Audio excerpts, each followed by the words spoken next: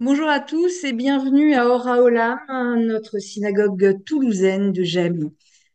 Alors aujourd'hui, ma mission consiste à vous parler de ce que j'appellerais un petit peu l'ovni des fêtes de pèlerinage, c'est-à-dire Shavuot. Pourquoi je parle d'ovni des fêtes de pèlerinage, vous allez comprendre. Prenons les autres fêtes de pèlerinage. Pessah.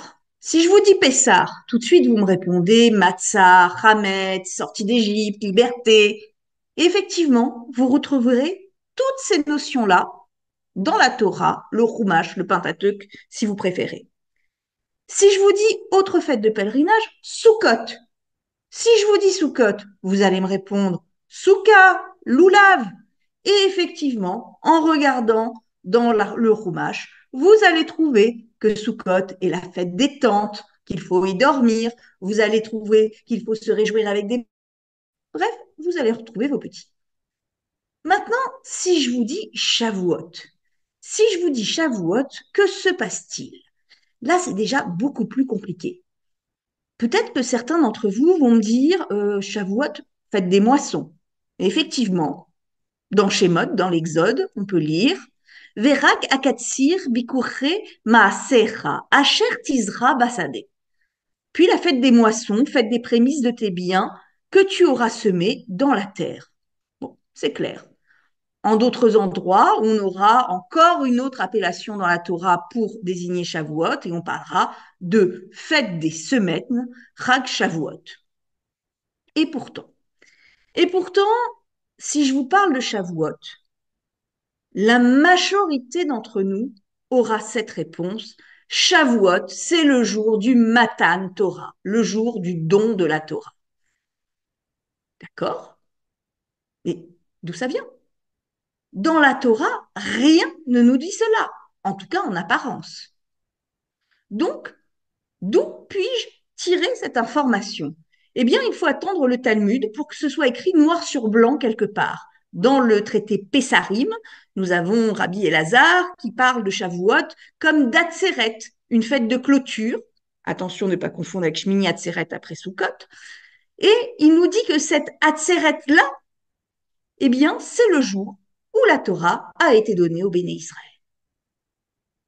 Ils sont arrivés à cela, les rabbins, à cette explication-là, par un doux mélange, je dirais, d'exégèse et de calcul qu'on ne va pas détailler ici parce que ce serait beaucoup trop long et beaucoup trop compliqué. Mais avec cela, en faisant cela, ce qui est intéressant, c'est que la littérature rabbinique a donné un sens à Shavuot qui va lui permettre de perdurer à travers les générations. En effet, comme on l'a vu, le seul rituel qui nous est demandé dans la Torah de faire à Shavuot était lié au temple. Il fallait se rendre à Jérusalem, fête de pèlerinage, y apporter deux pains. Après 70 de notre ère, on sait qu'il n'y a plus de temple. Et donc cette fête-là n'a plus de rituel particulier associé. Grâce à la loi orale, Shavuot, en revanche, garde une pertinence pour nous encore aujourd'hui. Mieux, cette fête nous permet de comprendre un autre commandement de la Torah, tout aussi étrange, qui nous est donné, c'est celui du conte du Homère. Si nous actons que Pessah est le moment de la délivrance, Mazman nous, et Shavuot, celui du don de la loi, on voit donc tout de suite l'intérêt d'avoir cette période intermédiaire. À la sortie d'Égypte, le peuple est tel un enfant?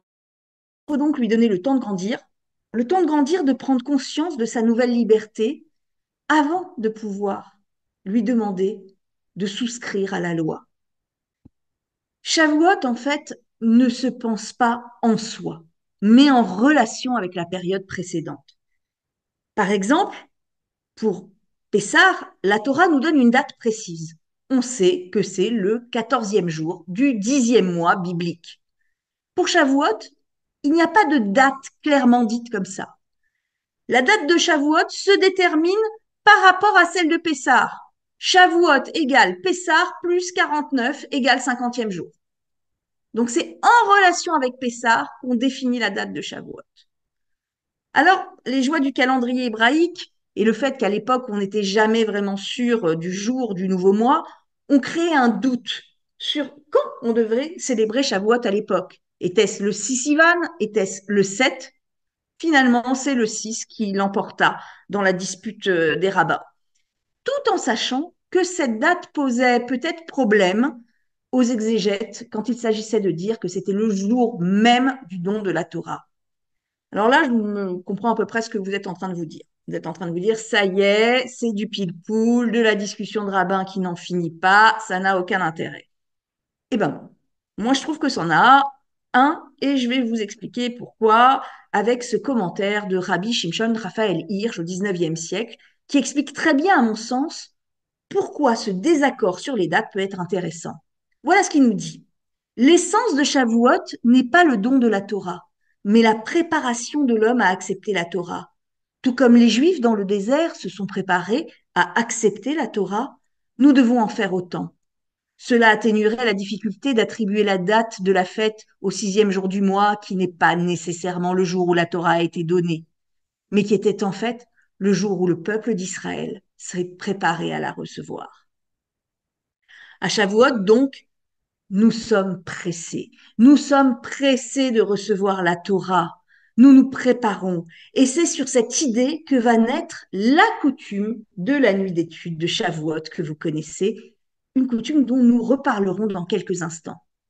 Coutume et pas mitzvah. Il s'agit d'un minag. Comme on l'a dit, il n'y a pas de mitzvot spécifique à Shavuot, de commandement spécifique à Shavuot que nous pouvons encore aujourd'hui appliquer de nos jours, si ce n'est ceux qui se rapportent un jour de Yom Tov, un jour de fête, un jour chômé, où nous nous rendons à la synagogue et où nous allégeons juste un peu les interdits du Shabbat.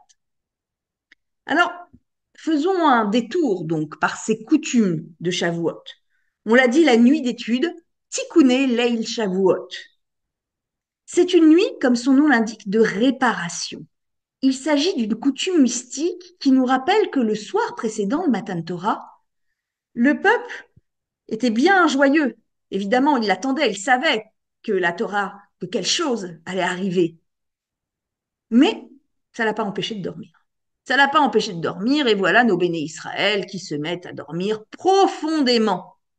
Et quand Dieu se manifeste, eh bien tout le monde dort encore. Et les Moshe doivent venir arpenter le camp afin de réveiller chaque tribu. Alors, pour réparer cette offense, nous restons donc éveillés toute la nuit des rêves Shavuot pour étudier. Pour étudier et, comme toujours, comme souvent lors de nos fêtes, pour manger. Manger quoi? Des mets. Alors là encore, d'où ça vient? Plusieurs explications à cette coutume. À vrai dire, personne ne sait vraiment quelle est la bonne. Donc, je vais vous en donner plusieurs et selon votre sensibilité, vous choisirez. Les plus poètes, peut-être, choisiront celle-ci. La Torah est comparée au lait, comme le dit le verset. Comme le miel et le lait, la Torah coule sous ta langue. Ça, c'est un verset du Cantique des Cantiques. Et donc, de même que le lait a la capacité de subvenir totalement aux besoins nutritifs de l'être humain, comme dans le cas d'un bébé, la Torah procure toute la nourriture spirituelle nécessaire à l'âme humaine. Autre explication, midrashim, pour euh, les amateurs cette fois-ci de halacha, pur et dur. On nous dit, lors du ton de la Torah au mont Sinaï, le peuple juif a reçu à ce moment-là les instructions relatives à l'abattage des animaux et à la préparation de la viande pour la consommation. Jusque-là, les Hébreux n'avaient pas reçu ces lois et donc toute leur viande ainsi que leurs ustensiles furent dès lors considérés comme non cachères. La seule autre possibilité qui s'offrit à eux fut donc de manger des laitages, qui sont des aliments qui ne nécessitent aucune préparation préalable. Autre option.